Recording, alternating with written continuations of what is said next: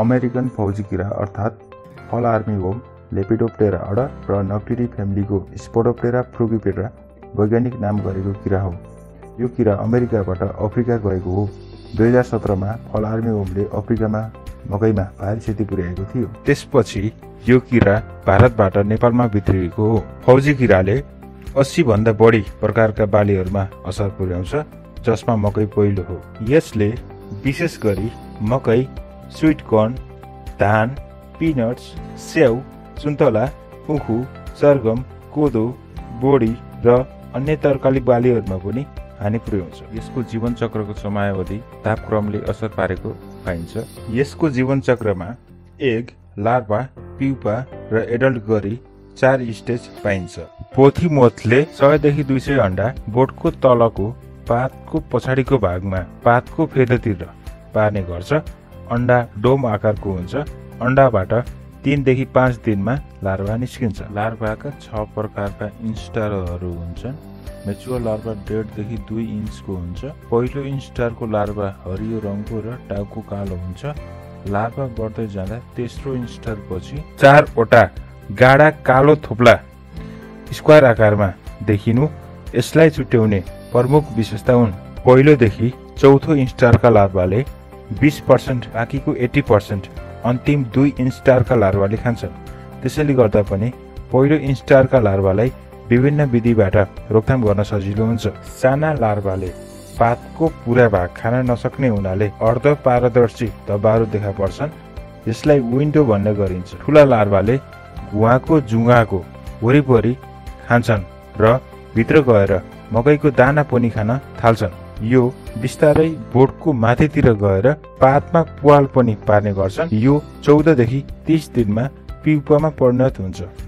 लार्भाले आफ्नो स्टेज पुरा गर्न थालेपछि यो जमिनमा खस्छ र दुईदेखि आठ सेन्टिमिटर जमिन मुनि गई पिउपामा परिणत हुन्छ। माटो साह्रो भएमा भुइँमा रहेका पातका टुक्राहरूमा पनि बस्छ।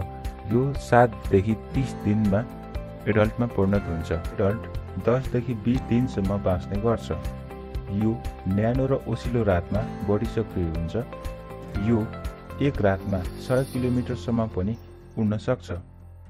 भालेमोत पोथीभन्दा सानो हुन्छ र अगाडिका पखेटामा धेरै प्याटर्न्स र सेतो धब्बाहरू हुन्छन् अमेरिकन फौजी किराको रोकथामका लागि विभिन्न उपायहरू छन्। तीमध्ये आइपिएम मेथड उत्कृष्ट मानिन्छ। तैपनि किसानहरूले रिक्स लिन नचाहने हुनाले रासायनिक विषादीको प्रयोग गरेको पाइन्छ। एउटै रासायनिक विषादी एकै ठाउँमा लामो समयदेखि एउटै किराको रोकथामका लागि प्रयोग गर्दा सो प्रजातिका किराहरूमा रासायनिक विषादीका विरुद्ध प्रतिरोधात्मक क्षमता बढ्ने जनाइएको छ। त्यसैले उत्तम आइपिएम विधि अप्नाउनु नै उत्तम मानिन्छ।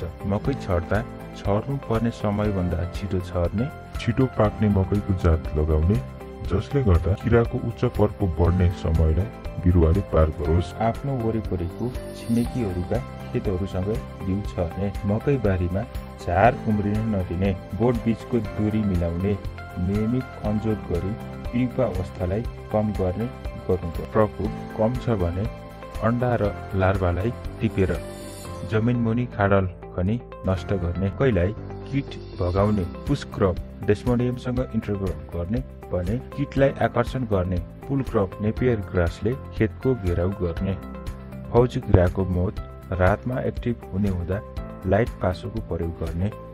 युनिभर्सल बकेट प्रकारको फिरोम्यान ट्र्याप प्रयोग गर्ने।